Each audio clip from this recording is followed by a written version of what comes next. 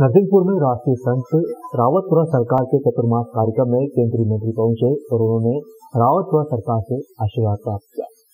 नरसिंहपुर के राजमार्ग स्थित लिया पैलेस में चल रहे राष्ट्रीय संत रावतपुरा सरकार के चतुर्मास कार्यक्रम में केंद्रीय मंत्री फग्गन सिंह कुलस्ते पहुँचे, जहाँ उन्होंने राष्ट्रीय संत रावतपुरा सरकार से आशीर्वाद प्राप्त किया।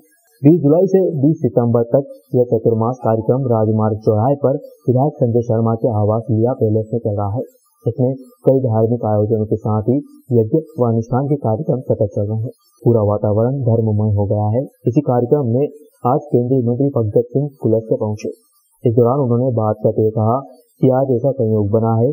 गुरुदेव के दर्शन कर उनका आशीर्वाद प्राप्त हुआ। मेरे साथ सागर से लता वान खेले भी कुछ साथियों के साथ पढ़ा रही है। आप प्रदेशी हैं? बांधड़ी गुरु जी का पाला वैसे बड़ा हो गया बहुत बड़ा हो गया।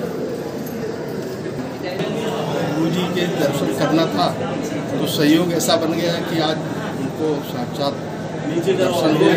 और आशीर्वाद लिए और परिवार के साथ आए थे आप? नहीं मैं अकेले ही आया। बाकी हमारे हैं सागर से। हमारे। सरपंच से लेकर वहाँ तक पहुँची है।